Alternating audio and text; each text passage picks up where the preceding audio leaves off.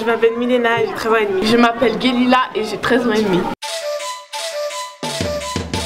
C'est ouvrir euh, un club de sport, enfin un mini club de sport qui serait moins cher que les grands clubs comme euh, le, Lausanne Sport, pardon. Où dedans on ferait du foot, de l'athlétisme, du basket et plus encore si on a les moyens. Aider en fait, plus aider parce que j'ai vu plein d'enfants venir essayer parce que tu as une période d'essai quand tu viens à l'athlète, venir essayer mais après devoir arrêter parce que voilà, les parents ne veulent pas payer plus que ça ou euh, pas payer en fait l'argent par mois en club.